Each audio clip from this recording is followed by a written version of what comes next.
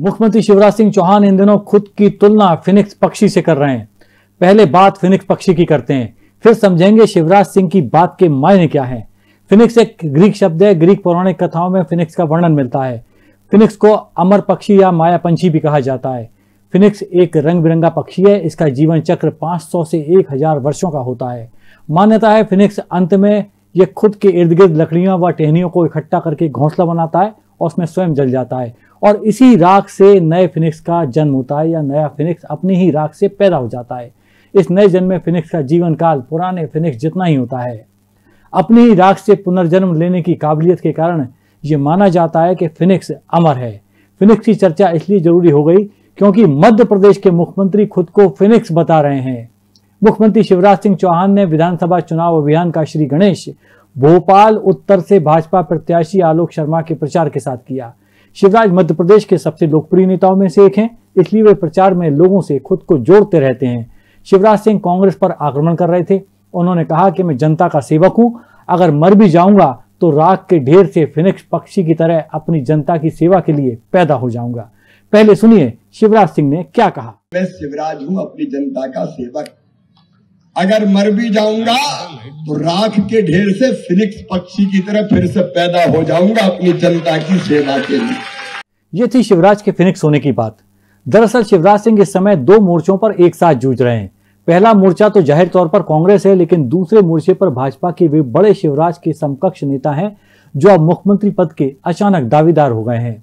इस बार भाजपा की हालत गड़बड़ थी तो भाजपा के केंद्रीय नेतृत्व को दखल देकर मध्य प्रदेश की व्यवस्थाएँ संभालना पड़ रही हैं।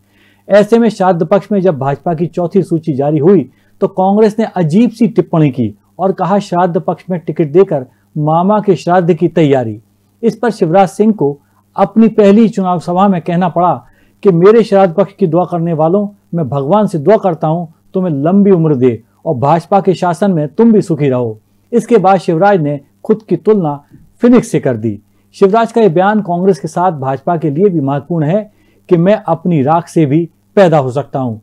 सुनिए, शिवराज सिंह की बात। वैसे मामा से कांग्रेस बहुत डरती है।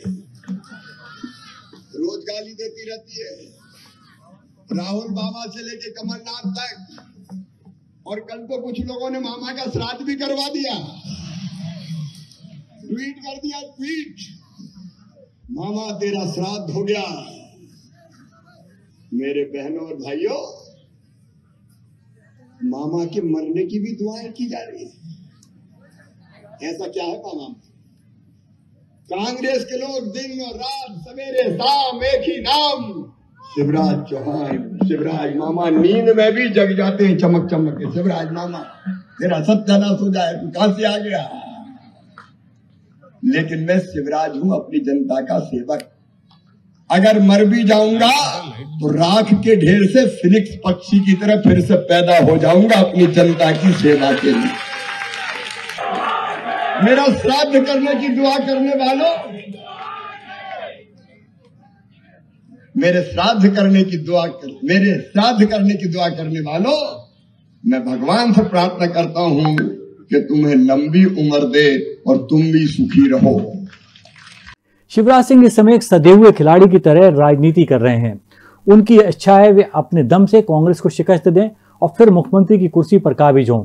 लेकिन इस बार हालात थोड़े विषम है और मुकाबला भी कड़ा है। ऐसे में नरेंद्र सिंह तोमर, कैलाश विजयवर्गीय, प्रहलाद पटेल और फग्गन सिंह कुलस्ते भी मुख्यमंत्री पद के दावेदार हैं। ऐसे में ज़रूरी हो जाता है मुख्यमंत्री शिवराज सिंह खुद को फिनिक्स जैसा साबित भी करें। अभी बस इतना ही। आप देखते रहिए दखल न्यूज़।